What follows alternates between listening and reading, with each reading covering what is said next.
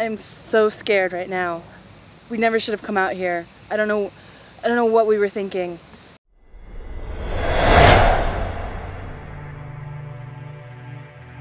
So there's a local legend that there was a woman who was a little crazy and she was exiled from the town.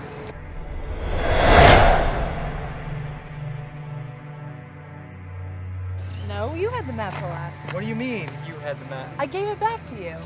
I did not have the map.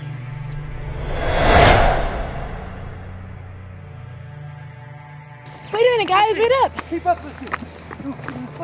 What? What's? Don't leave me. Get out that way, come on! No!